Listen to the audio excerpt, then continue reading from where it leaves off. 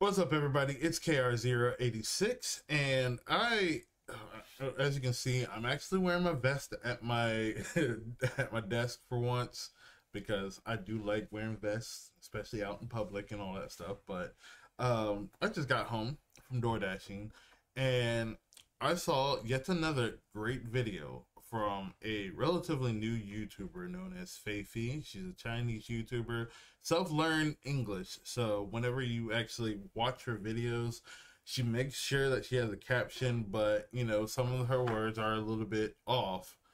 Um, but she still has a very great intellectual mind, and I just love how she uh talks about some of the subjects she's talked about. I, I, I, definitely need to check out more of her videos. She has about 20 videos, but I've only seen two of them so far. However, the one I saw today, uh, most importantly, is uh, this recent one, uh, no, uh, titled "After Sweet Baby from Wukong to Concord: How Diversity is Killing Diversity," and it's a very good watch. Um, I'm trying to to keep this short as possible. But in the video, she she pretty much uh, says it in the best way possible about how it seems like uh, people these days, uh, at least like a lot of different companies, gaming companies and movie companies, have uh, kind of turned this whole push to like diversity or DEI or um, political correctness um, into the forefront, but not but uh, leaving out the story. I mean, she says it much better than I can say it because I've been trying to figure out ways to say this uh, for a good long period of time because I've noticed this that like a lot of different uh, movies, a lot of different uh, TV shows, and a lot of different video games while I remember in the past they had a lot of diversity in them, and they but they were built off of great storytelling and great uh, ways of uh, really giving that human emotion to it. Uh, they're now more so like nowadays. It's more of a hey, let's put the diversity up front, and we'll take care of the story like as a the the story and all that stuff has to like kind of go along with the diversity. And that's something that you that's something that you shouldn't do. Like uh in all honesty. But like i said i really think you should check out her channel more so than anything uh especially this particular video because oh good lord uh, she she explains it in such a great way that i wish i could explain it and even though she has some broken english because of the fact that she is uh self-taught uh, english speaker uh uh learning english and you know she is from china.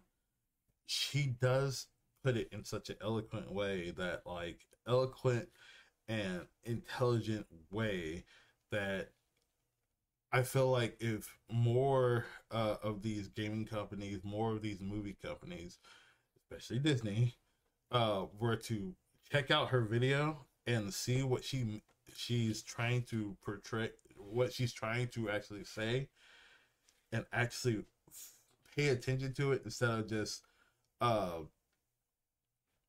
taking in one ear and letting it go out. Like literally, really think about it. They can have the the, the big productions that they want to have, the big successes that they used to have back in the day. Because I don't know how to explain it. Like it, it's the way she just came across was so uh so much better than I could even hope to bring it up. But it's exactly how I felt. Okay, uh, because look, I love diversity in video games. I'm gonna say that again. I love diversity in video games. I love diversity in movies and TV shows and all that stuff. But the most important thing of these uh movies or video games or TV shows, the most important thing is the story.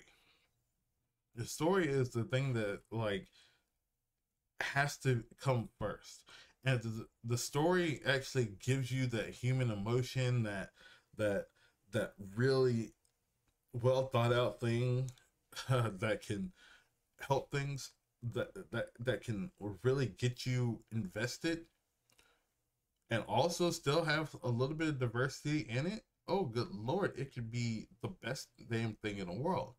Honestly like diversity diversity is important. I'm never going to say that it isn't however diver- diversity when it comes to the story the storytelling has to come maybe second especially when it comes to movies or tv shows. It has to come second to the story the actual story okay? You have to give me write something that's going to actually get me invested in your characters write good characters um and all that jazz and when it comes to games diversity has to come third sometimes even fourth um because of the fact that you got to have that story. And you have to have gameplay that's really engaging and all that stuff. Nobody's nobody who has been bringing up uh the issue nobody who has been bringing up the issues of DEI in video games or movies or TV shows has they don't necessarily have any issues with diversity being in these shows in in movies and these video games but when it comes to the point where it's like you're put into the forefront, it comes one, it comes across as fake. Two, it ruins actual legitimate diversity. Oh, like um in the in the in the video she was talking about the movie Moonlight. Now I haven't checked out this movie yet, but uh, it's about a black gay man um and well I, I, I she explains it a lot better than me because she's actually seen the movie. Um, but I've never seen this movie, and I do want to check it out, especially after she's you know brought this up as uh, a point in her uh, video. But um, I've never seen this movie. but she was saying how like when she saw this movie, she she loved the movie. Uh, she didn't think about his race or his sexual orientation, she saw the actual main theme of the whole thing. It was about love. It was about uh, a few other things, and while she enjoyed it and she was happy that it won an Oscar, because uh, it was her first time actually watching the Oscars, other people around her were saying that it was. they were like, "Oh yeah, the only reason why I got an Oscar is because they were trying to be PC or something like that."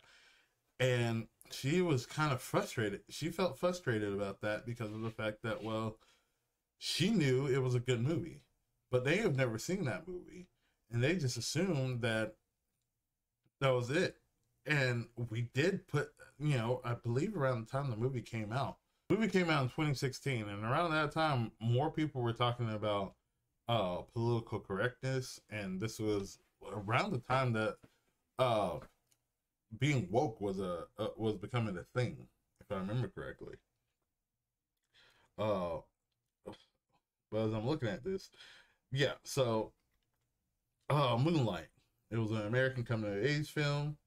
Uh, stars Trevante Rhodes, Andre Holland, Janelle Monáe, Ashton Sanders, uh, Jharrel Jerome, Naomie Harris, and Mahershala Ali. Oh, Naomie Harris is that? I'm definitely gonna check it out. Say.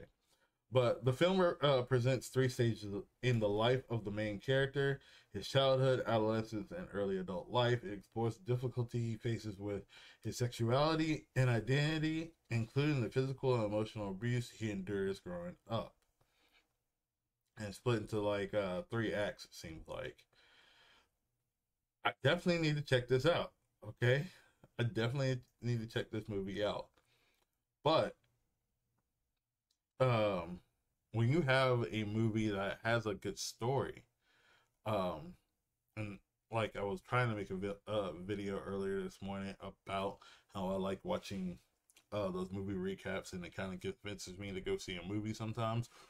Or sometimes a good movie is um and I would also say that uh, a good movie is um can actually get a lot more people watching it and realizing how good it is by it being a good movie, having a good story, and word of mouth. Because, uh, like I said, I didn't know this movie even came out. It came out uh, October twenty first, twenty sixteen, and it had a budget of one point five million, and it made six hundred and fifty. Uh, 65 i'm sorry 65.2 million so it, it was a successful movie. Um, but I'm guessing it really did like have great, uh, good written characters, and yeah, I'm definitely gonna have to check this out, this movie out, um, at some point. But I will say that Faye Fee, and I'm hoping I'm saying her name right, she uh she really did bring this up. Like superficial diversity is killing true diversity. And I agree wholeheartedly with her. Um but I'm go- I'm not going to keep ranting. I just want to I want you to check out her uh, video. It's a pretty good video. Um and um yeah, that's pretty much it for me. So you guys have a great day. Have a great week, month, year, you know, the usual stuff. Okay. And I'll see you guys next time.